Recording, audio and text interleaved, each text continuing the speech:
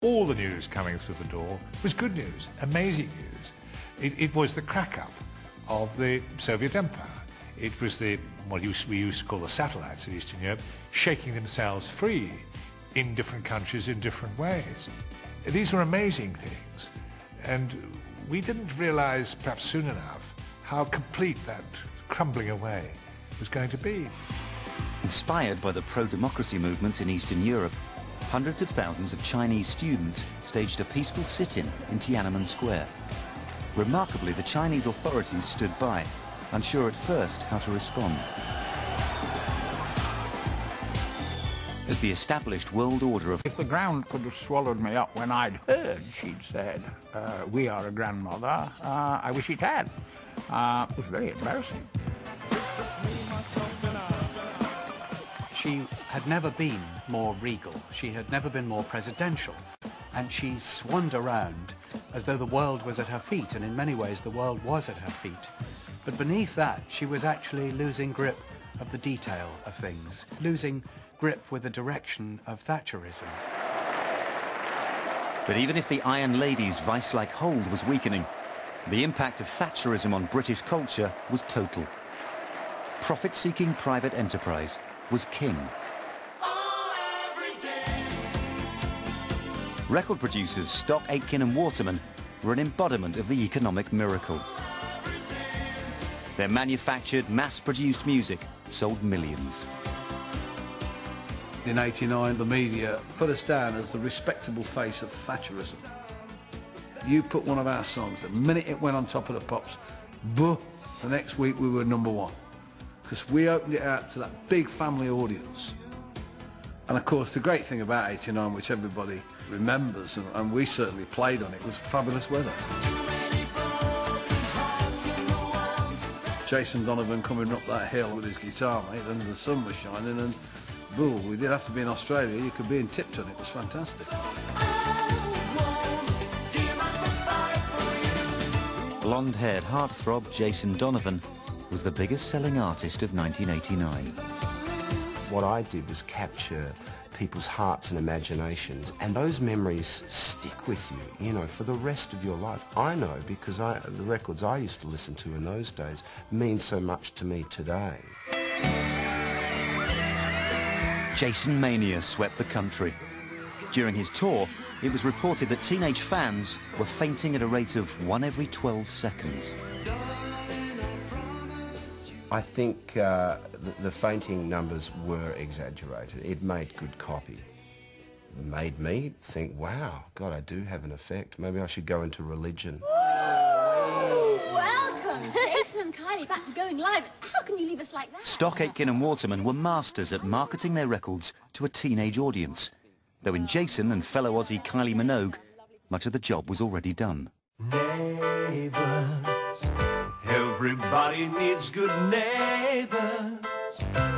By the summer of 89, the unthreatening soap opera world of Ramsay Street was drawing in audiences of 13 million. G'day. How's it going? Good day at the workshop. I thought you'd been in the library. Yeah, we were going to go to the oh, library. Because of Neighbours, we were part of a culture rather than just a pop hit. People knew us, or they thought they knew us. You're a genius, Scott why Kylie was the most phenomenal artist probably for the last 20 years is because girls all associated themselves with her. You know, she was the perfect kid next door. She was, you know, she took the spanner out and fixed the car. And she got this hunk of a boyfriend called Jason. Oh, come on. Can't get a better story than that, can you? Even stars plucked from obscurity were made to fit the formula with a carefully designed image. I used to look quite old when I was 17 because I used to have like really long hair right down to my waist. I used to wear a lot of leather. Uh, I was kind of like a rocky type of chick. Um, but of course, Pete didn't want that type of image. You know, he wanted me to look younger. Um, so I was quite devastated when they cut and perm my hair. In fact, I was mortified. And I think that's the way Pete liked it. He liked us all to be nice and clean cut. He wanted the perfect idols that the kids could look up to. Branding stars wasn't just about selling records. Pop supported a whole sub-industry of related products. Magazine Smash Hits was the handbook for preteen consumers and the perfect way for advertisers to reach the new pocket money market. 1989 was a recognition in the power of the teenager in terms of spending power and influence on society. The youth audience was a valuable audience and it was the time to start building your brand awareness to somebody who's 11, not waiting till they're 21. So a bank like Midland would target an 11-year-old in the belief that you'd continue having Midland bank account at 25, 30, 40. So they were spending millions of pounds on, on the youth audience at that time. But not everything happening in popular culture was quite so packaged and profit-led.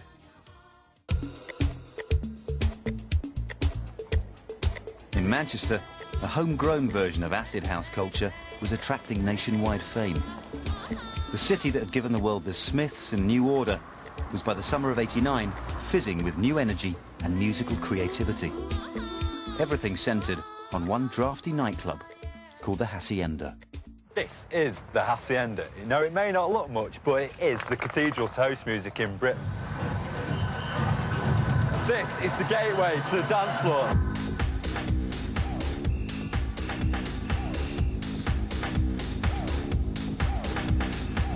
Everybody, even the bar staff at the back of the bar, would be moving, would be moving to this beat. And I've never seen rhythm and movement saturate buildings and human beings the way that Acid House did. It's never happened before or since. Nightclub, the Hacienda became the focal point of Manchester's cultural explosion. Everything came out of a hacienda. More than just a... Dance music came out of a hacienda, bands came out of a hacienda, and anybody who wanted to have a, any sort of sense or feeling of what was going on in that town was in the hacienda. The club spawned a new wave of bands that came to change the face of British pop music. One band that defined the scene on the Hacienda's dance floor was Happy Mondays, fronted by Shaun Ryder.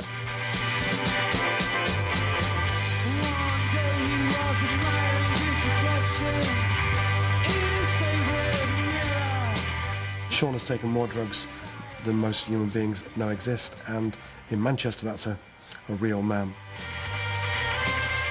Even though they had the lineup of a traditional rock band, Happy Mondays music came straight out of the dance and drug culture. Happy Mondays capture this sort of heady, intoxicated swirl. It's all very disoriented. It's like your head's spinning a little bit. It's not. It's like. It's like you've had a bit too much E. They even had one member, Bez, whose sole function in the band was to... It was perfect at the time for the Mondays because it was everything we was trying to do and put across like this dance, offbeat dance music. And what they, the ecstasy done, it's made us, uh, everyone understand what we was trying to do because no one quite understood us at first. Another local band to emerge dance. From the burgeoning dance scene would go on to cement Manchester's status as the centre of the musical universe.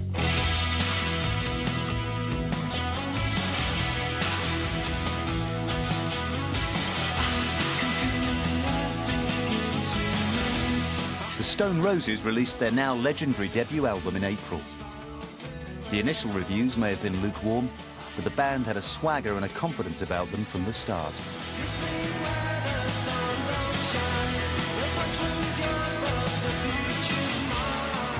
We knew the power of what we had with the songs and we knew we were going to be enormous.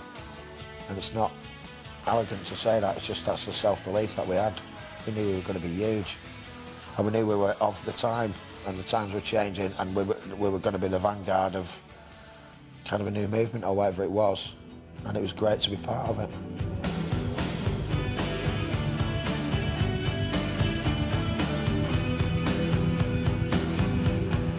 A generation brought up on a diet of electronic pop, the Stone Roses music was unfamiliar territory.